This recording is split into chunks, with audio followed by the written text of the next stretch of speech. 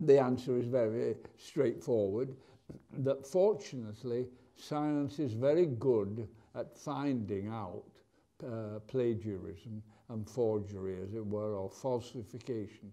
Because you can, uh, if a person tries to, uh, or even succeeds in publishing something which is incorrect or made up, very quickly uh, other scientists will be able to say, I can't get the same result as you claim here, and it will disappear. I mean, it will be shown to be wrong.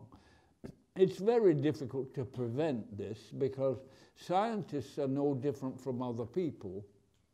And uh, we all, uh, uh, the whole, uh, we know that there are people out there who will say anything or tell a lie and uh, hope to succeed.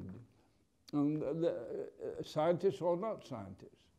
But science is very good at finding out those who do this because we test ideas.